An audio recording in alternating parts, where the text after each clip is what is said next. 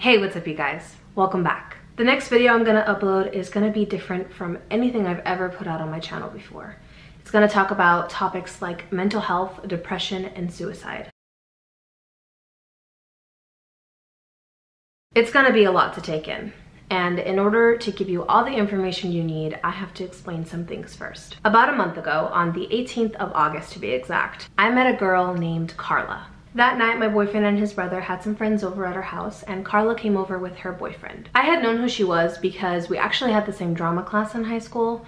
When I was a senior, she was a junior. I remember her seeming like a really nice girl. She just seemed very reserved, but Throughout high school, I never got to know her on a more personal level. From what I remember, there was a period of time when she just stopped coming to school. But like I said, I didn't know her personally, so I guess I just really didn't think much of it. But fast forward three years later, and here she is in my home. That night, everyone was casually drinking. Even I was sipping on some forbidden apple juice, if you will. So eventually, because Karla and I were the only two girls there, we just started talking. I remember her asking me how I was gonna get home that night, and I told her that I actually lived here with my boyfriend. So then I asked her how she was gonna get home, and then she said that her and her boyfriend were gonna Uber home because they also live together. So within like the first two minutes of talking, we already have something in common. Usually I save the story of why I moved out of my mom's house until I'm at least semi-comfortable with someone, but we just both started talking about our problems. It might have just been because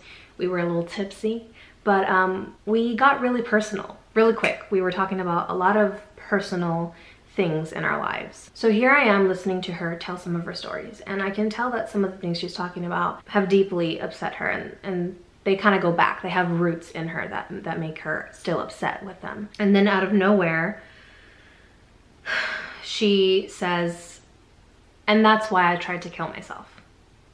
And it was like the whole room got quiet. Everyone was still drinking, talking, laughing, having a good time, but in that moment, all I can focus on were those words. And it caught me off guard. And in a matter of seconds, it was like I hadn't drank anything all night. I wasn't tipsy, I wasn't buzzed, I was sober, just like that. So I set my drink down and I moved closer to her and I'm just staring at her, just trying to analyze what she told me, analyze her, just process the entire situation and I can see her getting emotional. And I can't quite remember the conversation we had word for word, so I'm not gonna try to mimic it, but I remember how I felt in that moment. The entire night, I was looking at this girl who I thought I had all figured out.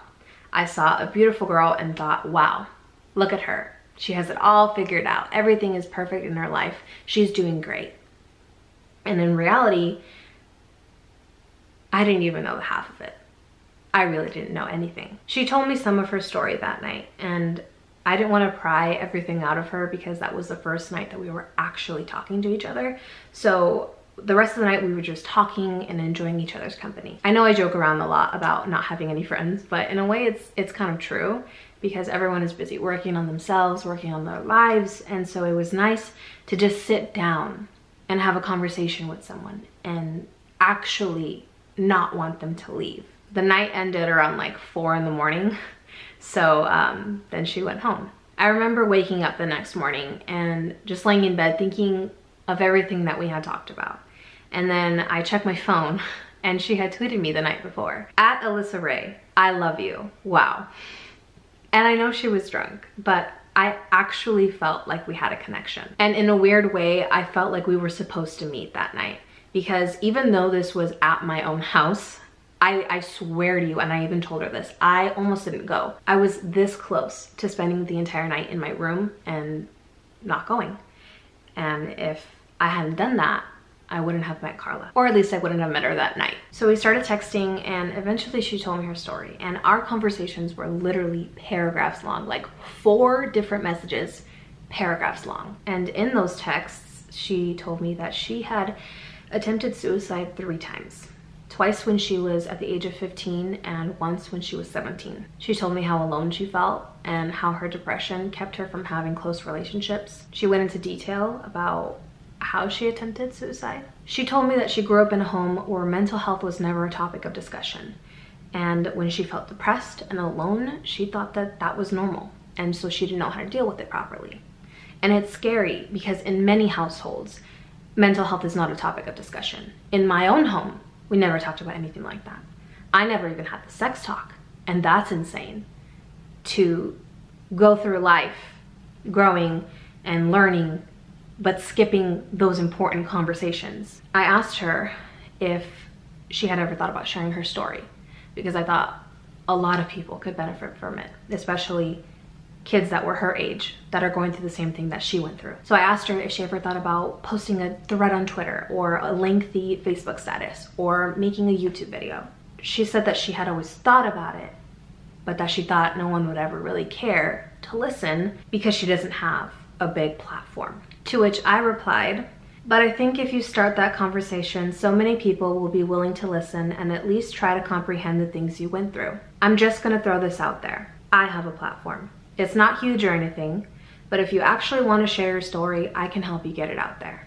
We could start a conversation together. She also told me that she was scared that people might act negatively toward her story or belittle her, tell her that she was lying or exaggerating or whatever, because again, she grew up with that behavior towards mental health. And so she was concerned that if she made a video with me, that um, she'd be ridiculed again. And so I told her I know the internet can sometimes be a judgmental place, but so far with all the videos I've put out, my audience has been nothing but accepting and supportive. A lot of people would care, and I'm sure of it. I can help you share your story if you want. No pressure, of course. Just letting you know that you can always use your voice on my channel. And then she said, I would love to do that, but I'm so scared honestly because I know I would have loved to have someone to relate to back then to help me because I felt like I was going through this all by myself and like no one understood. But it's so scary because it's so close and personal. I feel like I wouldn't know what to do or say. I really want to give it a shot though, honestly, and I feel like if I have you helping me, it'll make things so much easier. And then I said, I don't want to sway your decision. But I think maybe if we went the route of a very easygoing interview where I ask questions that prompt you to tell a certain part of your story, I think that would make it a little easier for you. Plus, it's not like it's live TV. We can reshoot something you messed up on or didn't say how you wanted to. I can edit in or out anything you want and you would have the final say before it would go public. I know it's scary to think about your truth finally being out in the open, but I think you'd be really proud of yourself if you did. I know I would, and I believe in you. As many of us know, there is a big stigma around mental health and that needs to change. It's unacceptable that we aren't teaching the youth how to take care of themselves and that as adults we can't carry a conversation about this because it makes someone uncomfortable. I can assure you that there's going to be very mature topics in this next video so if you're under the age of 12 I suggest that you ask your parents to watch it with you and hopefully that can start a conversation between you and your family. As mature as this conversation is, mental illness starts young.